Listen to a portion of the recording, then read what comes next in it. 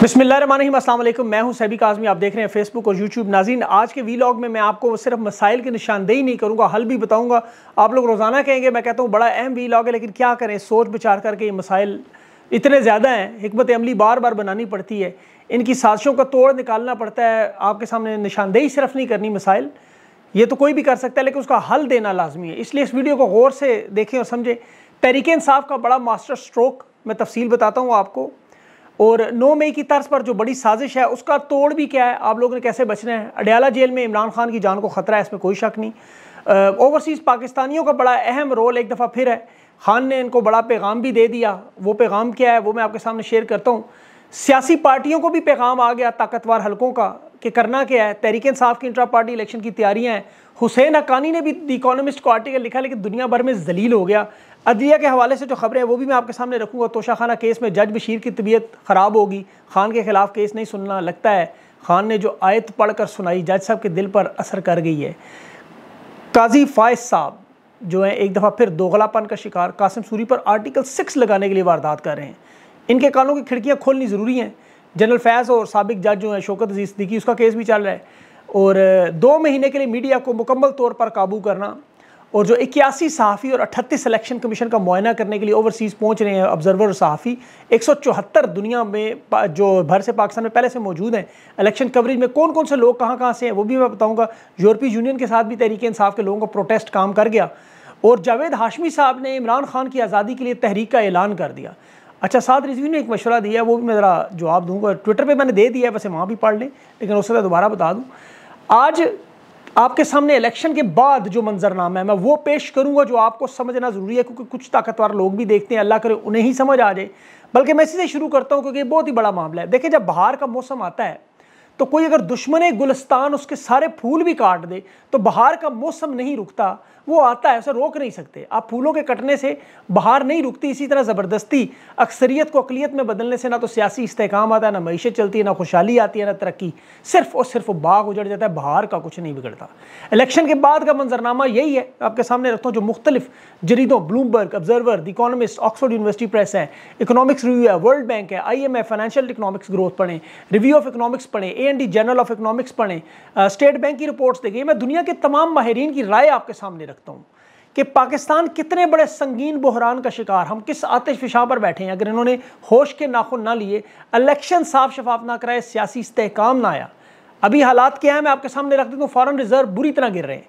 एक महीने का सिर्फ़ इंपोर्ट का बिल अदा करने के पैसे सिर्फ़ एक महीने। आईएमएफ के तीन अरब डॉलर का कर्ज अप्रैल के महीने में प्लान खत्म प्रोजेक्ट खत्म। मौसम और सिक्योरिटी के हालात अपनी जगह। ज़रात टेक्सटाइल सर्विसेज़ इंडस्ट्री इन्वेस्टमेंट सब तो बहुत बरकत महँगाई, बेरोजगारी। इस वक्त वाकई हम आतिफ शाह के दहाने पर हैं। डेढ़ करोड़ गुर्बत की लकीर से नीचे हैं। बेरोजगारी में दस फ़ीसद, ये कह रहे हैं, मेरे ख्याल में बीस फ़ीसद से भी ज़्यादा है। एक करोड़ से ज़्यादा लोग बेरोजगार। आईएमएफ से तेईस मरतबा मुआदा हुआ जो अप्रैल में अब ख़त्म होने जा रहा है। आबादी बढ़ती जा रही है, मीशत का कोई रोड मैप नहीं।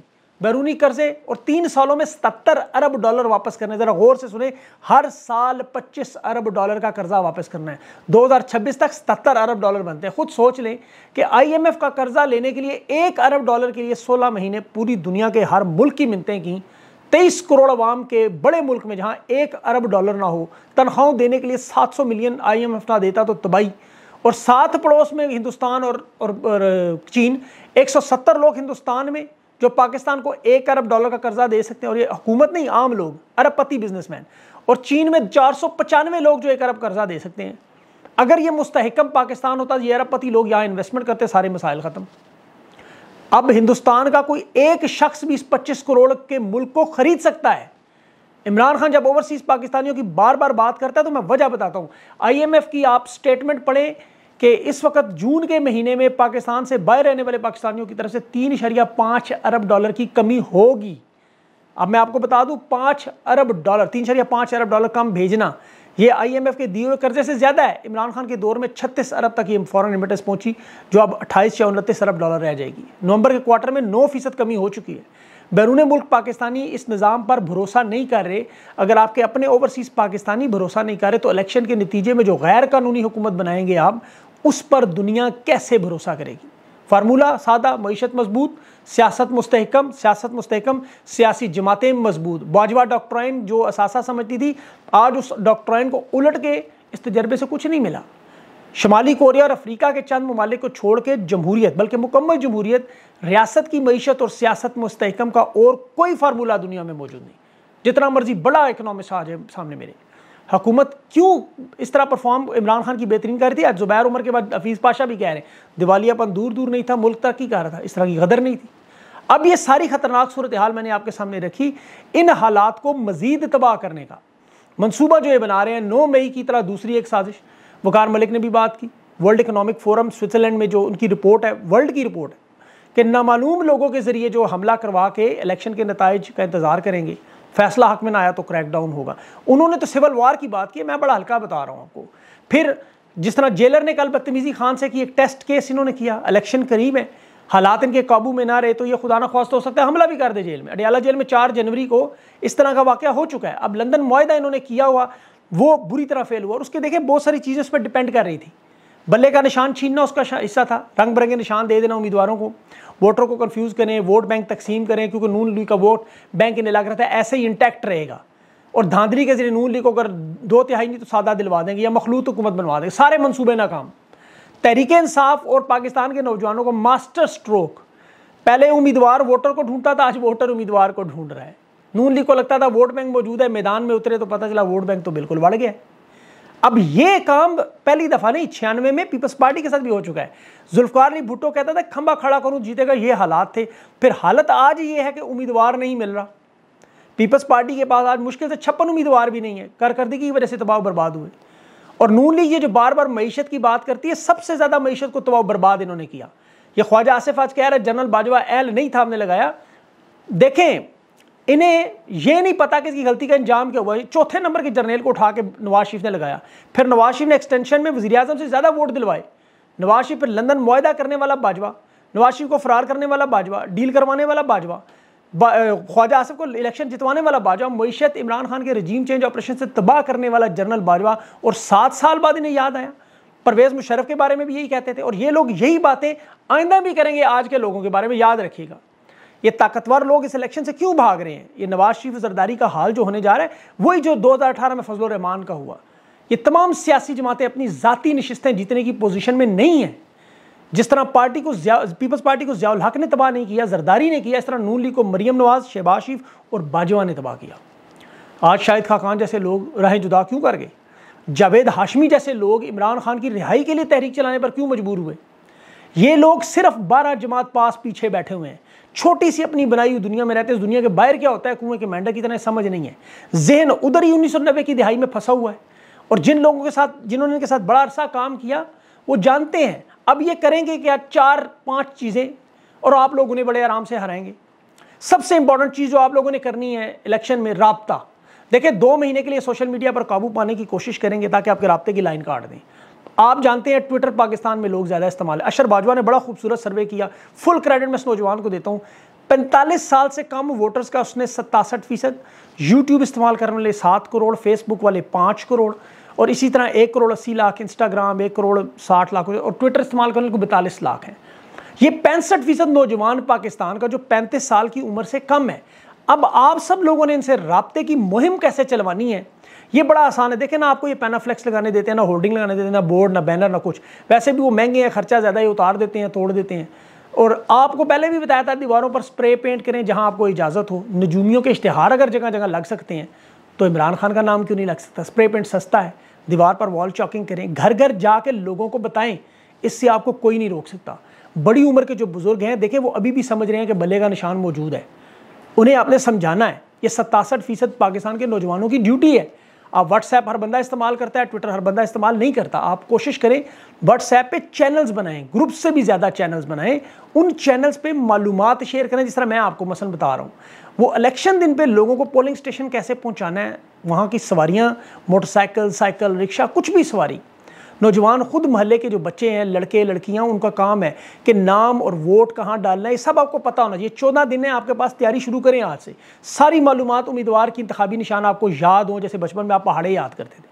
अब इससे भी जो अहम मरहला है, वो पोलिंग स्टेशन के अंदर एजेंट है।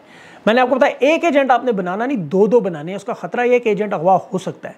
अब पोलिंग एजेंट के तौर पर लोगों को तरबियत बड़ा ज़रूरी है। वोट कैसे डालना है, वोट मुस्तरद कौन सा होता है, ये बड़ा अहम मामला है। जो लोग मोरे लगाते हैं जज्बात में, वो तीन चार जगह और ठोक जाते हैं। उन्हें इस चीज़ को समझाना है, वोट मुस्तरद नहीं होने देना। और कुछ लोग मुख्तलिफ़ निशानों पर मोर लगा देते हैं, कुछ उन्हें बार बार रिहर्सल करवाएँ। वीडियोज़ वोट की दिखाएँ बार बार खुद भी देखें। जिन लोगों ने फॉर्म 45 ज़िंदगी में नहीं देखा, वो पढ़ें इन फॉर्म्स को। सारे फॉर्म इलेक्शन कमीशन की वेबसाइट पर डाउनलोड करें। इन फॉर्म्स को समझें।